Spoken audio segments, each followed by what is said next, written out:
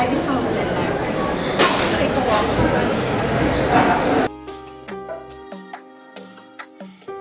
At the Ivy Townsend Library, we have two floors.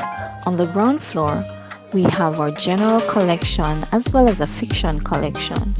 In these collections, you are able to borrow books on five day loans. Simply produce your IDs to the library staff, select your books, and you're on your way to reading and researching. We also have a computer lab where you are able to do your research and printing.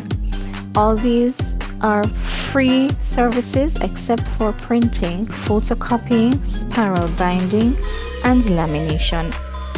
Once you are a student of the Montego Bay Community College, you have access to highly accredited databases. There you will find thousands of ebooks, e-journals, articles, and case studies at your disposal. At the Ivy Townsend Library, we have CAPE Unit 1 and 2 past papers. And get this, you only need an ID to borrow past papers. This is our reserved book collection. We have books on loan for two hours, three hours, overnight,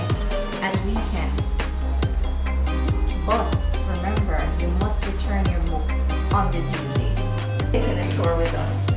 All of these are available at our library, and this will make you a successful student. So come visit the Ivy Townsend Library for your wonderful student experience at the Montego Bay Community College.